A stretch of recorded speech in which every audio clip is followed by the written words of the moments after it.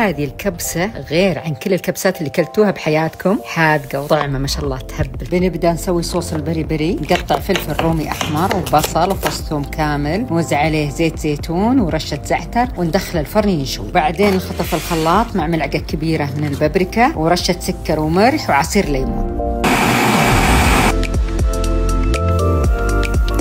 في مقلاة على النار نحمر شوي بصل بعدين نضيف له الخلطة مع معجون طماطم والدجاج وبعد ما يتسبك نضيف الموية الحارة. وإذا استوى الدجاج نرفعه ونكب الرز ولأن صوص الرز يكون ثقيل محتاجين نهدي على النار ونقلبه بين فترة وفترة. بعد ما يستوي الرز نرجع الدجاج بعد ما حمرناه. إذا كنتوا من اللي يحبون سبايسي وزعوا عليه شوي من صوص الناندوز المعتدل واستمتعوا بألذ كبسة حمراء. وبالعافية.